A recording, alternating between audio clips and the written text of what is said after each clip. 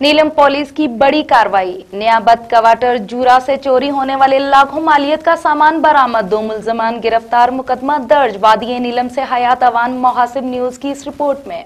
नीलम के इलाके जूरा शहीदा बाज़ार में चंद रोज कबल एक बेकरी कारखाने की लाखों मालियत की मशीनरी चोरी हुई थी, जिसकी बाजियाबी के लिए चौकी पुलिस जूरा बांडी पर दरख्वास्त दायर कर रखी थी। चौकी ऑफिसर जूरा बांडी शब्बीर मुगल ने हमरा नफरी चोरी शुदा सामान की तलाश शुरू की। शक की बुनियाद पर मुलजमान फैजान अहमद अदनान अहमद। पसरान मोहम्मद याकूब साकना जूरा शहीदा को हिरासत में ले लिया। दौरान तफ्तीश मुलजमान ने एतराफ जुर्म किया। मुलजमान की निशानदेही पर पुलिस ने छापा मारकर स्क्रेप की दुकान से लाखों मालियत की मशीनें और ड्रे बरामद किए। मुलजमान के खिलाफ चौदह ई एच ए के तहत मुकदमा दर्ज करके बंद हवालात कर दिया। अवाम इलाका की तरफ़ से चौकी ऑफिसर शबीर मुगल और इनकी टीम को आला कारकर्दगी पे जुराइम पेशा के खिलाफ कार्रवाई करने पर मुबारकबाद पेश की।